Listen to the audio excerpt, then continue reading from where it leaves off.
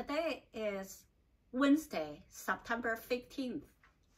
I'd like to review what's happened in the market. Today there's a ticker, INDP, was a super hot stock. It ran from $7 until almost $30, $28, $29. During pre-market, INDP has a catalyst come out. Notice of allowance from U.S. Patent Office.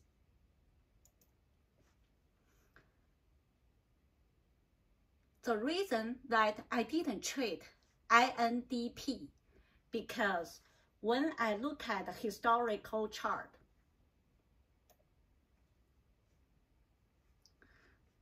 this stock has a multiple needle shape candles. It went straight up and straight down the same day. This is a warning sign that I should avoid. I know my personality I'm not interested in this uh, hyper stock or frenzy stock.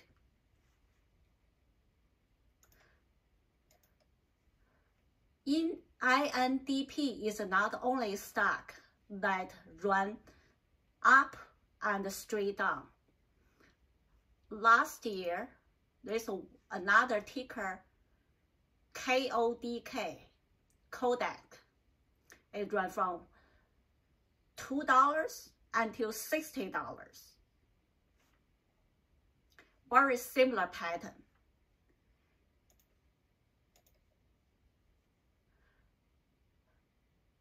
As a long trader, my strategy is to completely avoid this setup, this hyper stock.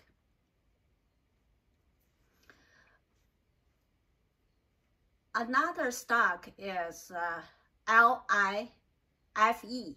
I mentioned during my Monday, September 13th video that this stock have an active offer. Shelf registration, 75 millions.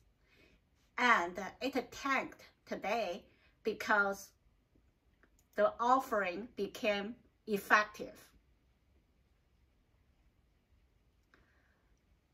common stock offering. So how to identify these uh, long traps is uh, go to the filings. For example, L-I-F-E. I find out this uh, sh shelf offering on Monday, so I completely avoid this stock. It's okay to step aside and watch.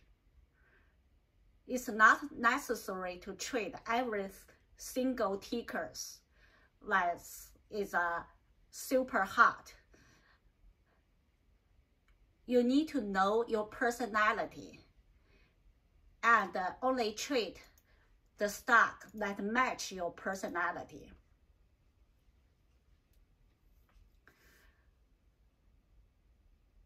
Uh, today's takeaway is it's not, it's not necessary to trade every single ticker. Trade your best setup and treat your strength. Thank you for watching.